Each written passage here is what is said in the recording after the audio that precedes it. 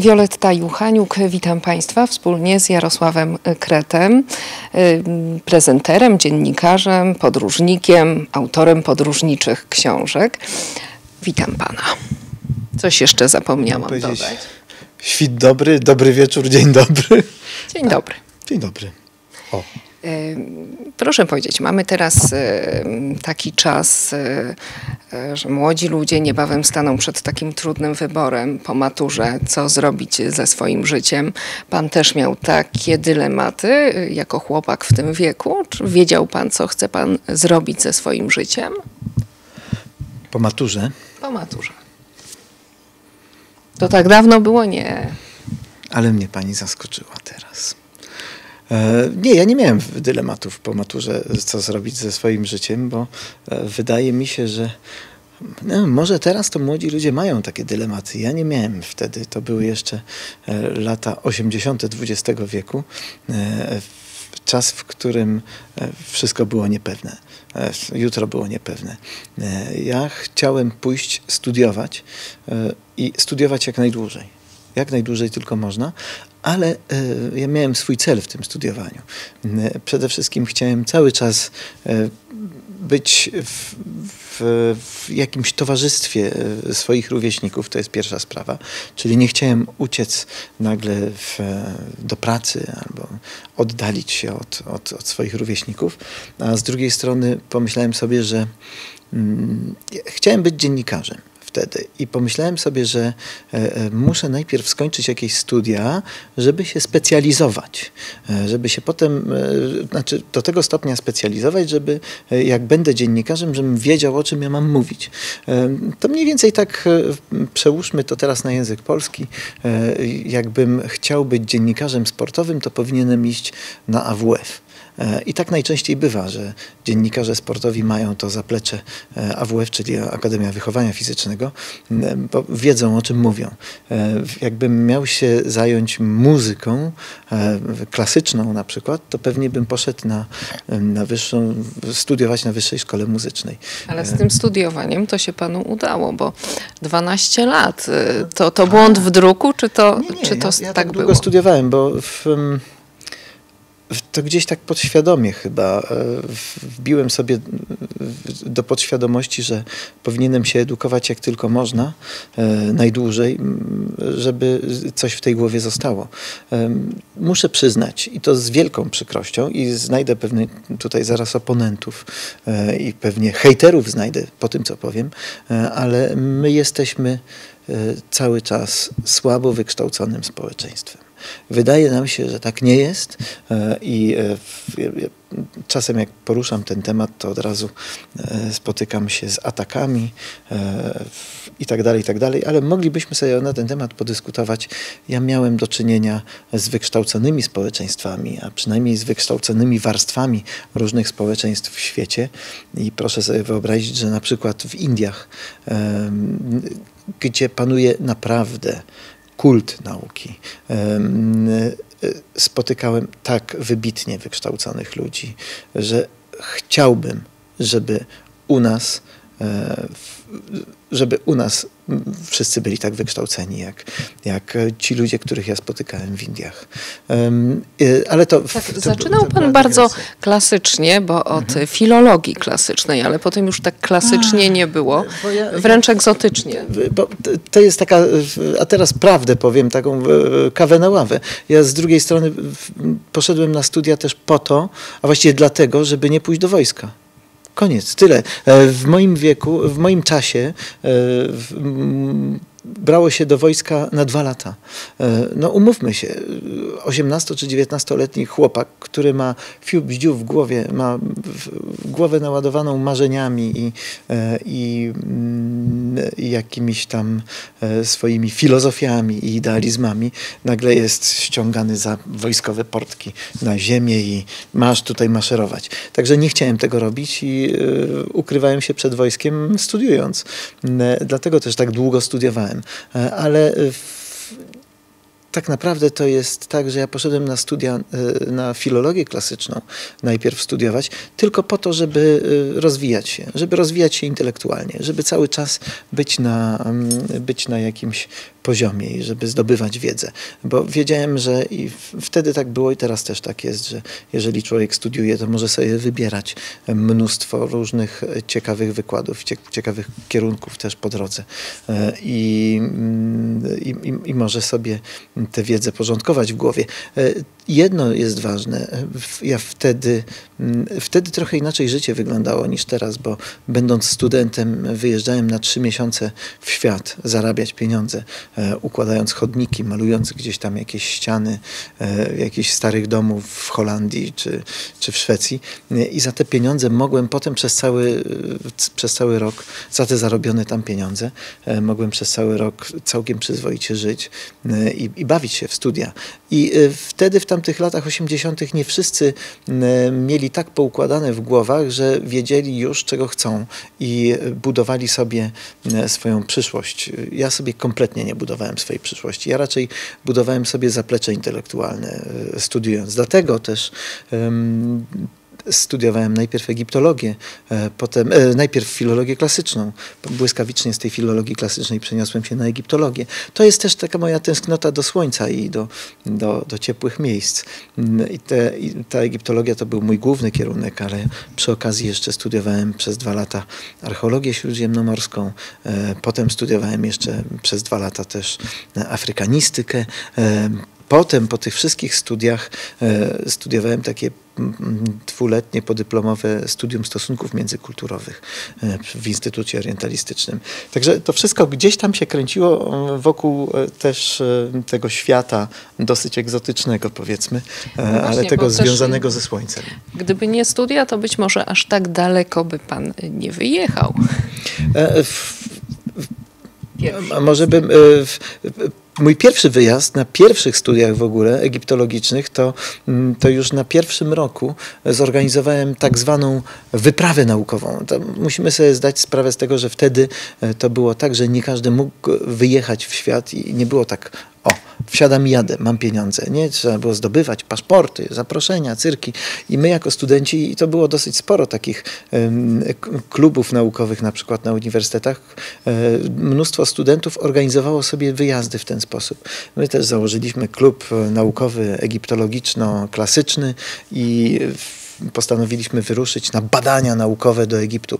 I mój pierwszy wyjazd, y, ta, ta, wyprawa do Egiptu skończyła się na Grecji, no i to był mój pierwszy taki samodzielny wyjazd. Dlaczego samodzielny? Bo właściwie powinienem z całym klubem pojechać, ale jak już zdobyłem paszport i y, miałem możliwość wyjechać, to okazało się, że mogę pojechać do Niemiec w tym czasie zarabiać. To pojechałem do Niemiec zarobić pieniądze, po czym pojechałem już na własną rękę do, do Grecji i, i to był mój pierwszy wyjazd taki E, taki samodzielny w świat. Potem był Egipt.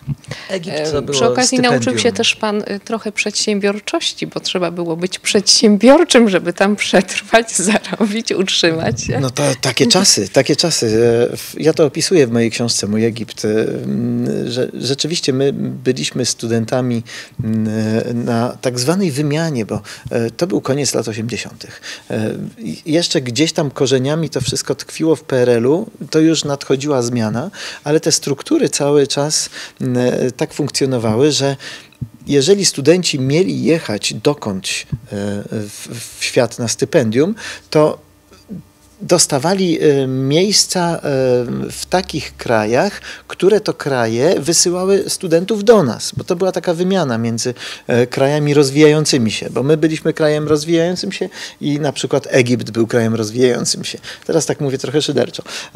I w, wtedy też no, zdobyliśmy szansę, nas było e, sześcioro studentów w sumie, zdobyliśmy szansę wyjechać na stypendium do, do Egiptu. To takie na zasadzie wymiany między ministerstwami e, edukacji.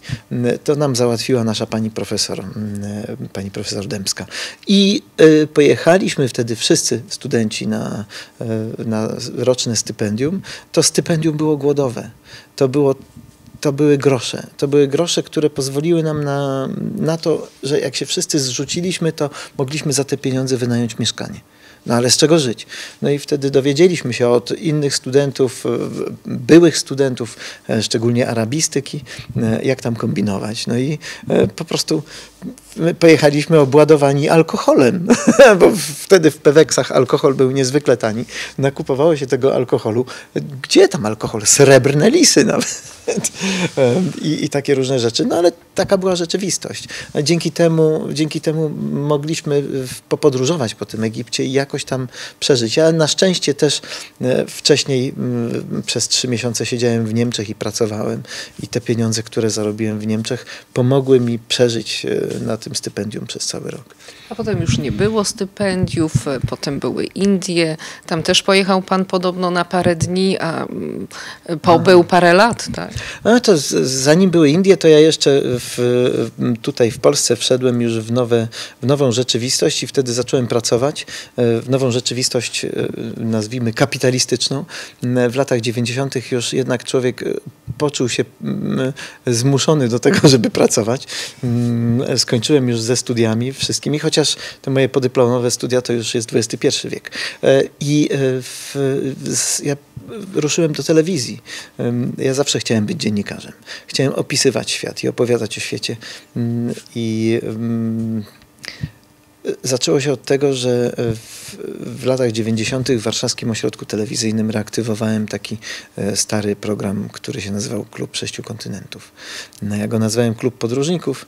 E, kupiłem wtedy za zaoszczędzone pieniądze pierwszą cyfrową kamerę, jaka była na rynku.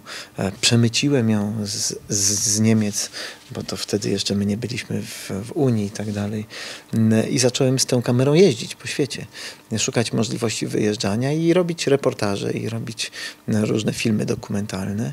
I tak przez kilka lat e, najpierw robiłem ten program, potem pojawił się pod koniec lat 90. w Polsce e, National Geographic. Ja byłem jednym z, ze współtwórców tego czasopisma National Geographic, bo poproszono mnie też do, do tego pierwszego składu redakcyjnego. No a potem pewnego dnia, już w XXI wieku, tak to było jakoś tak, no na przełomie, wsiadłem z kamerą e, do samolotu, poleciałem do Indii na 5 dni, zostałem 5 lat.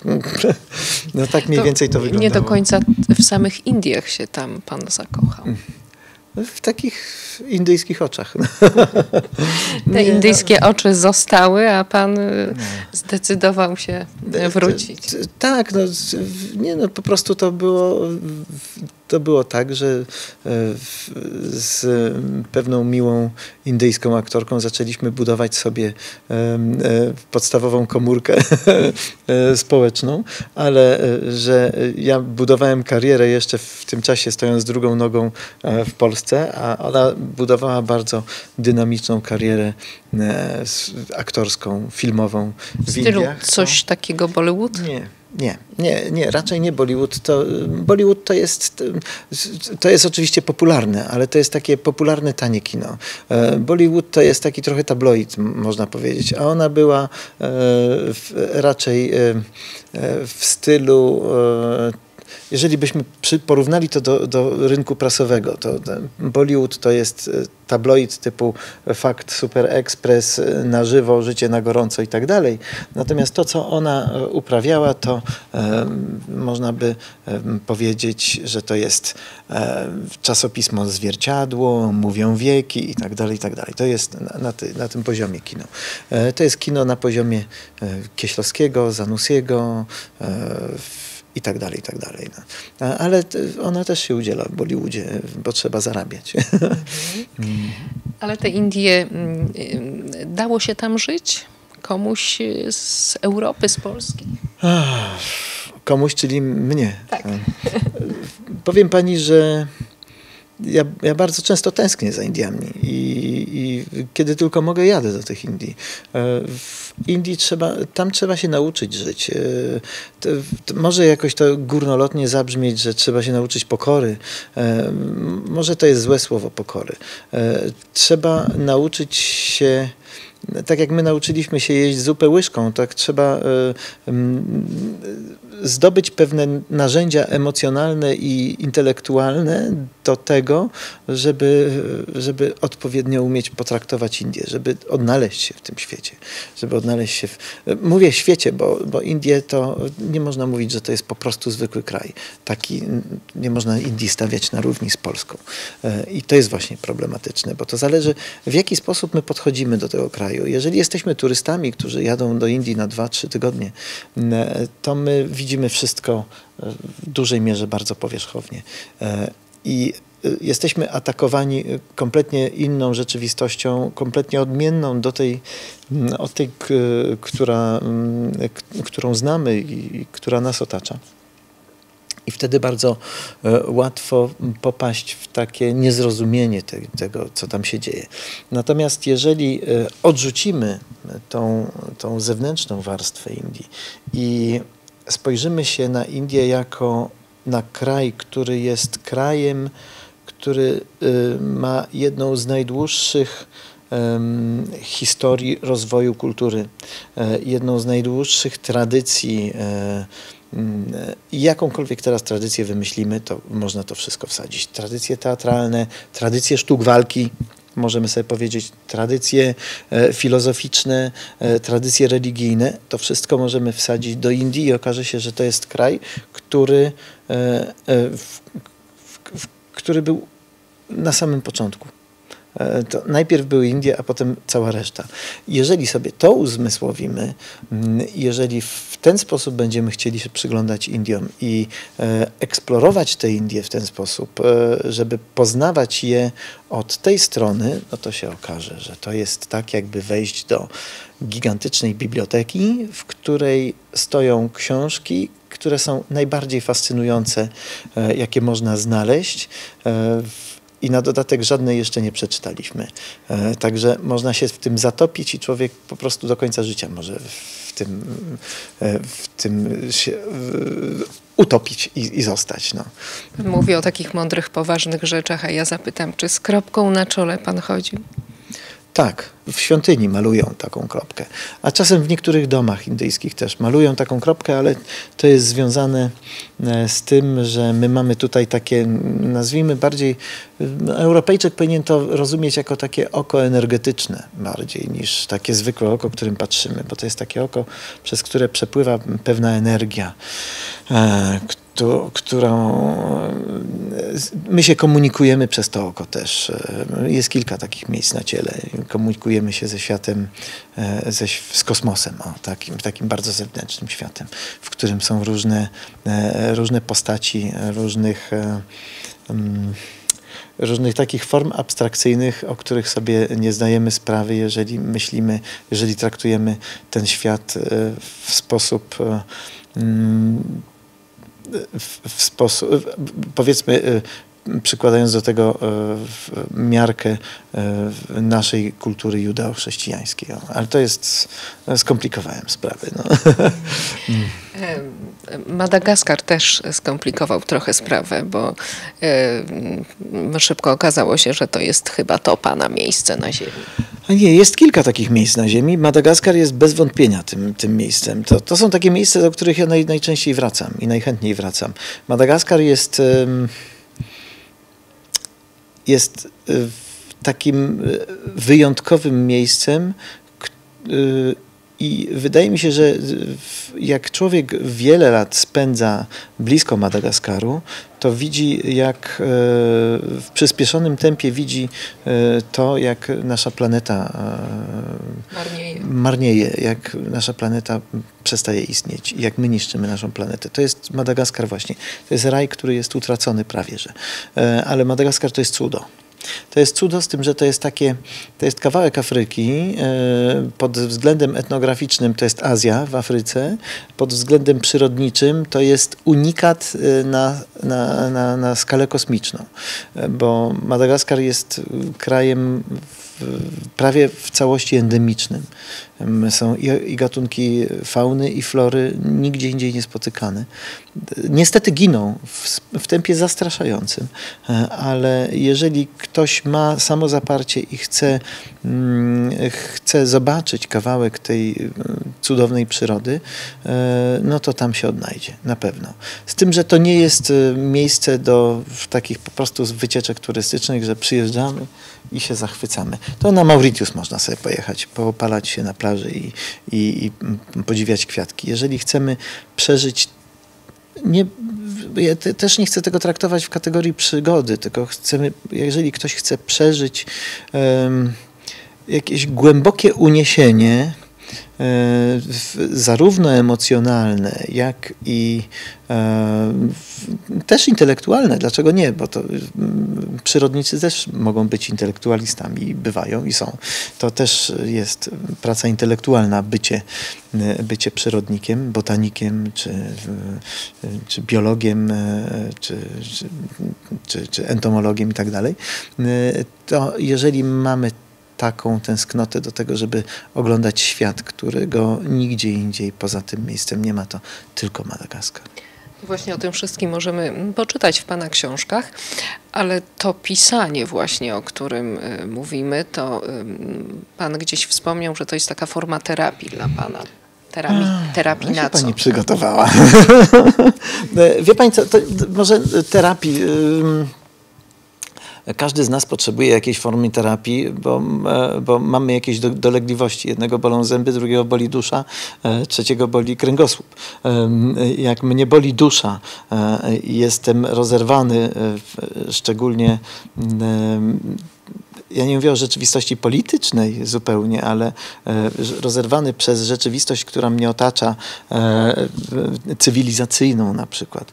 Czasem nie wiadomo dokąd uciec. I jak ja się biorę za pisanie, to uciekam e, gdzieś w siebie, we wspomnienia, w przemyślenia. E, uciekam w świat, który kreuję, który potem przelewa się na. Czy to nie jest wymyślony świat, tylko to jest e, wykreowana formuła widzenia tego świata. Ja w to uciekam i odrywam się od rzeczywistości. To jest jak narkotyk. trzeba przejść przez pewną granicę i z, jak człowiek zaczyna pisać i jak tak się przebije przez taką pierwszą błonę, w, wbije się tak jak się mały kurczak rodzi, e, rozbija taką, to, to, to, to jajko i przebije się przez tą błonkę i potem wrz, wychodzi i nagle dostaje się do zupełnie innego świata. To tak właśnie jest z pisaniem, e, że e, to potrafi po, tak... Ja, ja mam tego świadomość, że jak czasem jak piszę, to nie wiem ile dni pisałem, gubię się. Kompletnie. E, dlatego muszę sobie zaplanować zawsze jakiś dłuższy czas na napisanie i potem się gubię. Nie wiem, czy ja siedziałem 5 dni, czy 7, bo kompletnie jestem oderwany od rzeczywistości. Dlatego mówię, że to jest taki jakiś narkotyk, który zakręca człowiekiem niesamowicie. Ale to jest forma terapii. Dlaczego nie? Bo. E, to jest gimnastyka mózgu, gimnastyka pamięci, ale też i e, w pewnym sensie mm, e, też gimnastyka emocji. No. Mhm. Mówi Pan, że ucieka Pan w pisanie. Nam trochę ucieka czas, a ja, a ja nie, nie, nie, chciałam tylko powiedzieć o tym, że a ja jeszcze nie zapytałam o pogodę, ale ja nie chcę pytać o pogodę, bo Pan opowiada o wiele ciekawsze rzeczy, ale e, muszę powiedzieć, że był Pan takim prekurs, prekursorem mówienia w pogodzie ludzkim językiem. Dziękuję bardzo. Dziękuję, że Pani to zauważyła. No, no rzeczywiście, bo wie Pani co, problem polega na tym, że jak ja zacząłem robić prognozy pogody, e, to mm, to było tak, że ja się zgodziłem na robienie, na to, żeby, mi zaproponowano to, na to, żeby robić te prognozy pogody, dlatego też, że pomyślałem sobie, będę przemycał jakąś wiedzę. E, będę przemycał wiedzę i nagle uświadomiłem sobie, że zarówno ja, jak i większość telewidzów nie, nie wie i nie rozumie tego, co e, w tamtych czasach mówili e, różni prezenterzy pogody, bo mówili, e, czasem się też to zdarza u niektórych prezenterek i prezenterów pogody, że mówią językiem hermetycznym, niezrozumiałym dla nikogo, bo po prostu kopiują to, co im napisali meteorolodzy. W związku z tym musiałem się nauczyć tej meteorologii, przynajmniej podstaw meteorologii wziąłem udział nawet w pisaniu pewnego atlasu meteorologicznego. To mnie bardzo przeszkoliło. I potem, mając już wiedzę i mając to zaplecze, miałem odwagę mówić prostym językiem, bo to nie jest wcale tak łatwo mówić prostym językiem, bo szczególnie e, komuś, kto e, ledwo liznął na przykład e, tę wiedzę, no bo boi się, że się zbłaźni.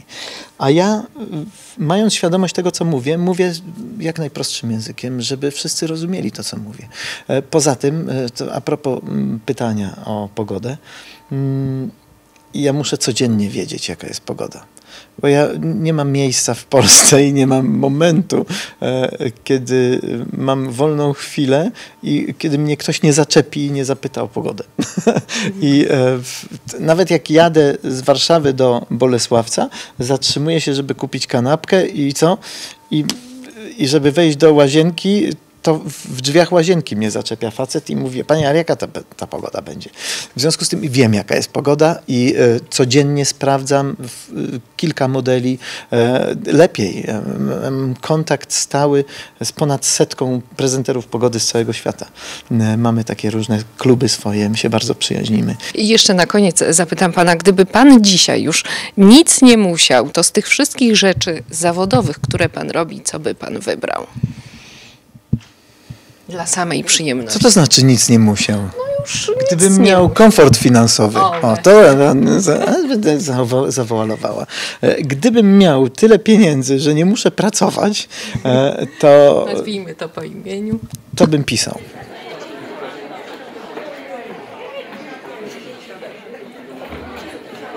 Spotkaliśmy się dzisiaj po to, tutaj, żeby uczcić bibliotekę. Ja chciałem powiedzieć jedną ważną rzecz teraz, e, dla mnie bardzo ważną. Ja kocham biblioteki. Kocham biblioteki wbrew pozorom, wbrew temu, co można się spodziewać po tak zwanym celebrycie z telewizji, e, panu od pogody, który zmienia dziewczyny jak rękawiczki podobno i w ogóle. Ja takie bzdury na, na swój temat czytam. E, ja uwielbiam czytać książki, proszę Państwa. I więcej w życiu książek przeczytałem niż dziewczyn miałem, to na pewno.